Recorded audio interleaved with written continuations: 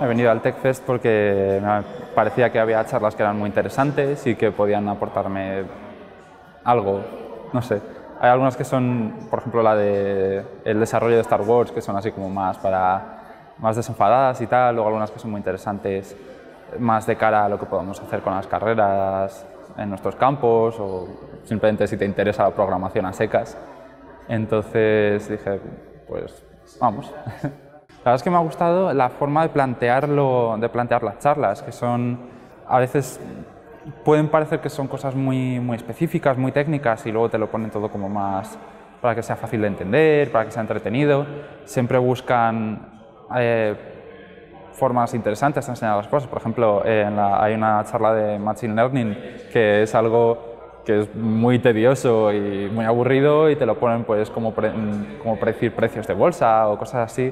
Entonces, para que no sea, por ejemplo, el enfoque puramente teórico que puedes tener en las clases, de pues, vamos a ver teoría, muerte, pues es interesante, puedes sacar cosas de ella.